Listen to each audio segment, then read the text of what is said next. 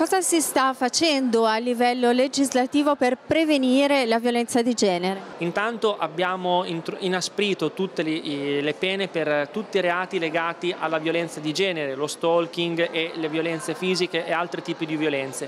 Poi abbiamo previsto in legge di bilancio, la vecchia legge finanziaria, 20 eh, milioni di euro in due anni per finanziare l'attività dei centri antiviolenza più altri stanziamenti per progetti specifici legati alla prevenzione della violenza di genere. Questa è una piaga che riguarda tutte le persone ma quello che dobbiamo soprattutto far passare è il concetto che la prevenzione si fa tutti i giorni comunicando, informando, sensibilizzando l'opinione pubblica che anche piccoli comportamenti possono diventare l'anticamera di episodi ben più gravi. La Regione sta cercando di dare piena piena attuazione alla legge 6 del 2014, quindi la legge per la parità e il contrasto alle discriminazioni. Proprio in questi giorni si sta concludendo l'istruttoria del primo bando che abbiamo emanato a sostegno degli enti locali e delle associazioni sul versante del supporto alle reti che tutelano appunto le donne vittime eh, di violenza, che le aiutano ad uscire dalla violenza e che sostengono le donne che invece sono a rischio di eventuale violenza. Inoltre una grande importanza si sta dando